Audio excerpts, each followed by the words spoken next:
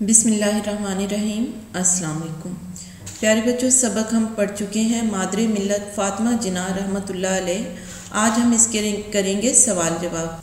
सवालात के मुख्तसर जवाब दें। सवाल नंबर एक है हमारे पास, मोहतरमा फ़ातिमा जिना रहमतुल्लाह अलैह, कब और कहाँ पैदा हुई? जी बच्चों, कब और कहाँ पैदा हुई? इसका जवाब है मोहतरमा फ़ातमा जिना अलैह, इकतीस जुलाई सन अठारह को कराची में पैदा हुई। मोहतरमा फ़ातमा जिना कहाँ पैदा हुई थी? कराची में पैदा हुई थी और कब पैदा हुई थी? 31 जुलाई सन अठारह को। सवाल नंबर दो है, मोहतरमा फ़ातमा जिना रहमत किस मकसद के तहत कायद अज़म अलैह के साथ लंदन गई थी? जी प्यारे बच्चों तो इसका जवाब है मोहतरमा फातमा जिना रहमत गोल मेज़ कॉन्फ्रेंस में शिरकत के लिए कायद अज़म रहमत के साथ लंदन गई थी। उन्होंने गोल मेज़ कॉन्फ्रेंस के दौरान कायद अज़म को नहायत अच्छे सियासी मशवरे दिए। सवाल नंबर तीन है, मोहतरमा फातमा जिना रहमत ने अपनी सारी ज़िंदगी किस बात के लिए वक्फ़ कर दी? वक्फ़ कर दी, यानी गुजार दी। वक्फ़ के मानी है किसी के नाम कर देना। तो उन्होंने अपनी ज़िंदगी को किसके नाम कर दिया? इसका जवाब है मोहतरमा फ़ातिमा जिना रहमत ने अपनी सारी ज़िंदगी कौमी मफादात के लिए वक्फ़ कर दी, यानी कौमी मफादात के लिए गुजार दी।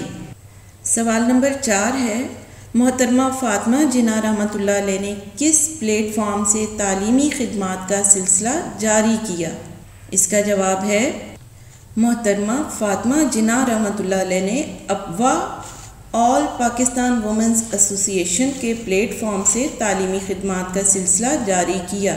जी प्यारे बच्चों अफवा मुखफ़ है ऑल पाकिस्तान वुमेंस एसोसिएशन का। यानी इसे हम इख्तिसार के साथ अफवा बोलते हैं या पढ़ते हैं। सवाल नंबर पाँच है, मोहतरमा फ़ातिमा जिना रहमत की कौन सी खदमात आब ज़र से लिखने के लायक है?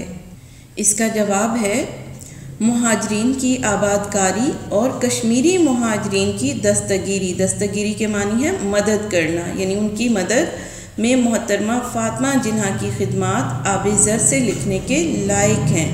आब ज़र के मानी है सोने का पानी। यानी उन्होंने क़याम पाकिस्तान के वक्त इंडिया से हिजरत करके आने वाले महाजरीन को आबाद करने में अहम किरदार अदा किया और कश्मीरी महाजरीन, यानी जो कश्मीर से हिजरत करके आए थे, उनकी भी बहुत ज़्यादा मदद की।